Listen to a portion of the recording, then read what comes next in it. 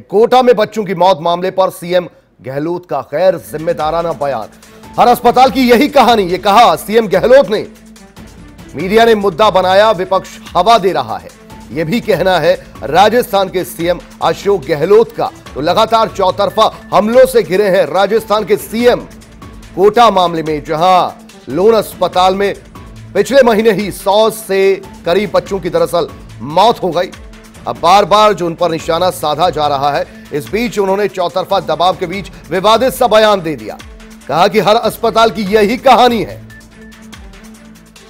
कल आपको बता दें, सिलसिलेवार तरीके से मायावती ने ट्वीट कर कर कांग्रेस पर निशाना साधा था, खासतौर पर कांग्रेस की महासचिव प्रियंका गांधी वाड्रा पर।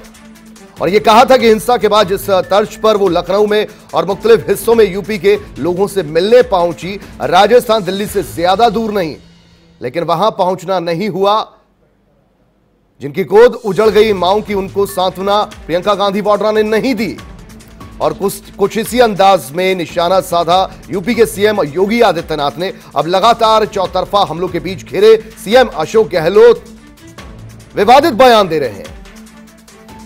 बेतुके बयान दे रहे हैं, कह रहे हैं कि हर अस्पताल की लगभग यही कहानी है। यहाँ तक कि यह कहा जा रहा है कि पिछली सरकार में उनके आदेशों के मुताबिक, पिछली सरकार के आदेशों के मुताबिक बहुत से बेड वहाँ से निकाल लिए गए। बहुत सा इक्विपमेंट वहाँ से ले जाया गया। तो फिर एक साल से ज़्यादा का वक्त हो गया, राजस्थान में सरकार को बने हुए। अब तक यह मामला संज्ञान में क्यों नहीं आया?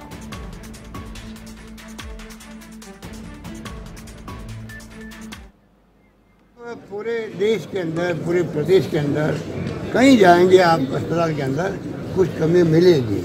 उसकी आलोचना करना हक रखता है। मीडिया भी रखता है और लोग रखते उसकी सरकार आँखें खोलती है। और सरकार इसको इम्प्रूव करती है। मैं तो इसमें विश्वास करता हूँ। विपक्षी पार्टी में लोग जाएँ अस्पतालों में मीडिया वाले जाएँ, कमियाँ बताएँ, हम दूर करें मैं ऊपर माने चाहता हूँ।